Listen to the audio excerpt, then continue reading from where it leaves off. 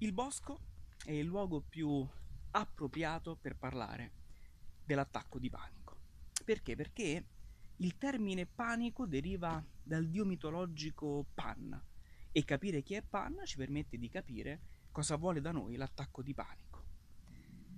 Pan è il dio dei boschi, è il dio della natura selvaggia, impervia, pericolosa ed è rappresentato metà uomo e metà animale. E questo ci dice che anche dentro di noi esistono questi due lati. Un lato razionale, deputato al controllo, al ragionamento, ma abbiamo anche un lato irrazionale, impulsivo. E allora cosa accade?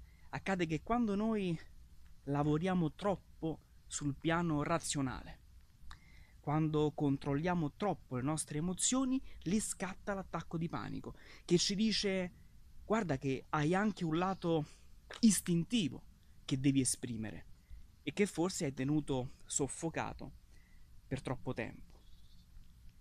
Non a caso, Pan è spesso raffigurato mentre rincorre le ninfe, mentre insegue le ninfe. E se ci facciamo caso, quando abbiamo un attacco di panico, ci sentiamo il cuore che batte all'impazzata, il respiro affannato, come se realmente stessimo sfuggendo da qualcuno.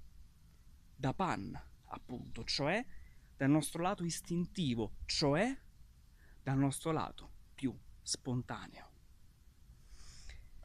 Ecco perché stare nei boschi o fare le sedute psicologiche nel bosco è il modo migliore per iniziare ad affrontare l'attacco di panico.